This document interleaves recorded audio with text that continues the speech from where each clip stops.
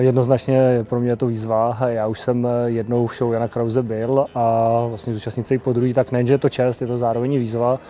Eh, očekávám horký chvilky, ale i, i zábavu.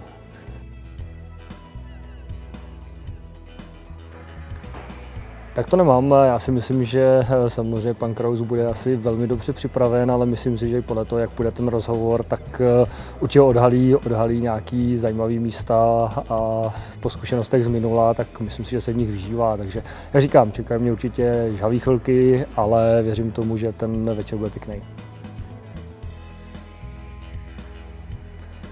Tak na tím jsem nepřemýšlel vůbec, protože přicházel jsem sem s tím, že většinou jsou spovídaní hosté, takže nevím, možná mě něco napadne, ale teď aktuálně nevím. Těším se, jednoznačně, jednoznačně se těším, samozřejmě trošku nervozita je, ale uh, i minule ten pořad byl uh, velmi pěkný, užil jsem si to, takže říkám, těším se.